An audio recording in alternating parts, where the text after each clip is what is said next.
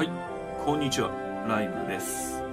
今ちょっとね、今回の動画はいつもと違う動画環境で撮影してるんですけど、はい、今日ね、あの、来ましたね、新しいイベントが。ターゲットを6体、タイムミッション、毎日ターゲットが次元出現。はい。ということで、ちょっとね、変わったイベント。3月は本当ね、新しいイベントどんどん始まってて、でその中のこのタイムミッションってやつ、これはイベントの、えー、まあスケジュール表にもあったんだけど、ちょっとね、面白いですね。はい。一応イベントの概要を読んでいくと、えー開催期間がまず3月26日から4月の6日まで。で、イベントとしては6種類のターゲットが毎日各4回1時間ずつ出現します。チャレンジを達成していくと各魔石が報酬ができ、あ獲得できますと。で、一度達成したチャレンジはそれ以降も達成済みとなるため、毎日出現タイミングの度、調整する必要はありませんという風になっております。で、クエストはターゲットごとに3クエストずつ。で、ターゲットによって出現タイミングが違うので、パーティーチャット、エクストレスで情報を共有して攻略しましょうということになってますね。で、一応この6種だね。ヒートセイバー、コールドリーパー、ブリッツスピア、ハンマーボディ、シルバーハンマーボディ、ゴールドハンマーボディ。ということで、この6体のクエストをクリアするまでみんなでね、情報共有して、今出てるよとか、今何々が出てるよみたいな形で挑戦していくとか、していくって感じですね。で、とりあえず今ね、あの日付変わって、まあ0時過ぎなんだけど、そう、ろれつが回ってないのは眠いからっていうことがあるんだけど、はい。今出てます。ちょうど、これが。今ね、ヒートセイバー出現中ですね。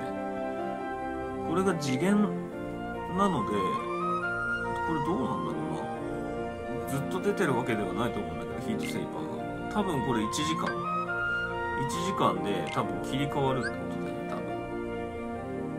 分。うん、そうだよね。6種類ターゲットが毎日各4回1時間ずつだから、とりあえずこの今日の26、26日の1回目が今始まったと。で、この次がいつ始まるかわかんないんだよね。だからこれに関してはちょいちょいこのイベントクエストを除いている必要があるということなんですけど、うん。難易度自体はね、全然高くない。レベル2000が最後で各魔石が1つずつもらえるみたいな形です。もう多分ね、この動画アップする頃にはヒートセーバー消えちゃってると思うんだけど、はい。とりあえず、うん、皆さんにね、こういったイベントも始まってますよと。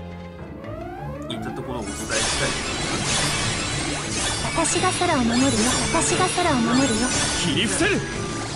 切り伏せる。出るのであノーコンうんそうノーコンクリアだから階級とかでも全然いいと思うし。ね階級なんかすると絶対勝てると思うしあパートナーメダルで強いあのー、メダルをね借りたりすればすぐ勝てると思う。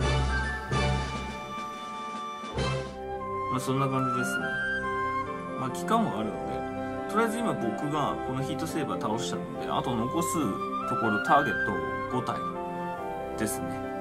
はい。まあこれはあれですね。僕のツイッターとか、えーフォローしてもらえれば多分出てたら僕ツイートしようかな。じゃあうんツイートしよう。見かけたらツイートとかねしたりしようと思うのでぜひねあの僕のツイッターフォローしてないよって方はぜひフォローしてみてください。そんだけです。といったところで今回の動画ここまでで終わりたいと思います。参考になった面白かったぜって方はぜひチャンネル登録そしてメンバーシップ登録等もよろしくお願いします。それではご視聴ありがとうございました。